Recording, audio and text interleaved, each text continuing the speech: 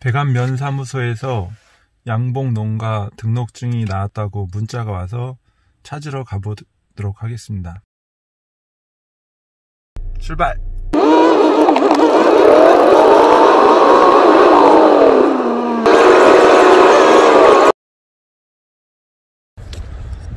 네, 면사무소에 도착해서 들어가 보도록 하겠습니다.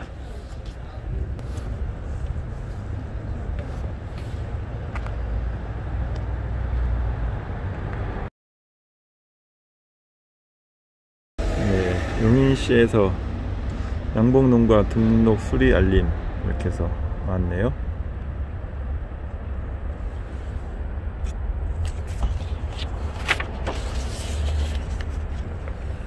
네, 양봉농가 등록증 용인시 사양 서양종 꿀벌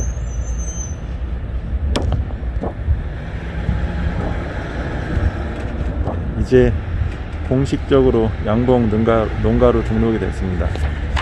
어, 뭐 별거는 아니지만 이제 법적으로 공식적으로 이제 등록이 됐네요.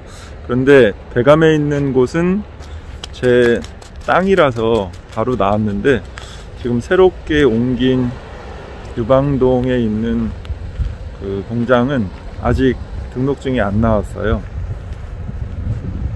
아마 곧 또 나오겠죠. 거기는 임대라서 그런 것 같습니다. 임대.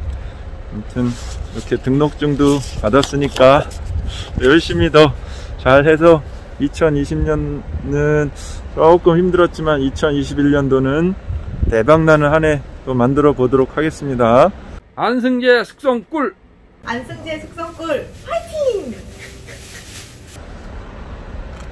메리 크리스마스 즐거운 성탄절 되시고요. 건강하세요. 숙성 꿀지기도 많이 응원해 주세요. 안승재 숙성 꿀